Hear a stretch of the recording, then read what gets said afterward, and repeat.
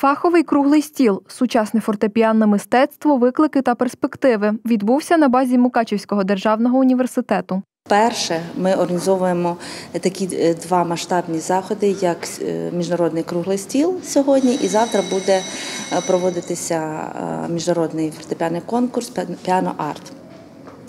Стосовно круглого столу, це є наукове спрямування.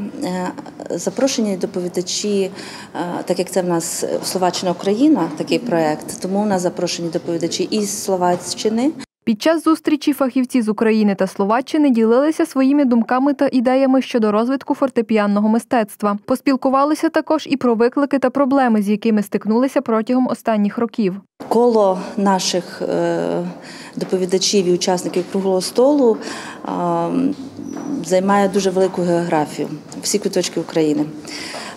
Сюди приїхали із Києва, е, дуже відома така в Україні е, мистецтвознавиця. Вона е, саме популяризує старовинну музику. Вже завтра відбудеться восьмий міжнародний фортепіанний конкурс Піано Арт. Спеціально для цього конкурсу вдалося привезти до Мукачева унікальний музичний інструмент клавесин, на якому обдарована молодь виконуватиме камерну музику.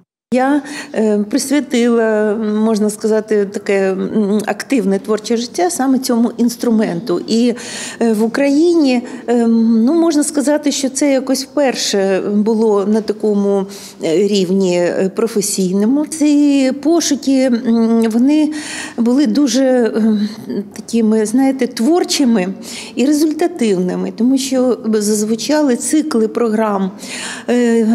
Вся камерна музика Йоганна Себастьяна Баха, е, музика від Розумовських, яка пов'язана з колекцією е, сім'ї Розумовських, і багато іншого. Головною метою круглого столу та конкурсу є збереження та розвиток фортепіанної виконавської культури і мистецтва і виявлення талановитих молодих виконавців.